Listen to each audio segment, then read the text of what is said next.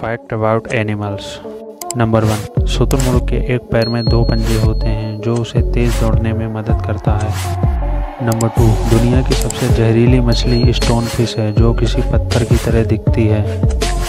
Number three बंदर video game भी खेल सकते हैं।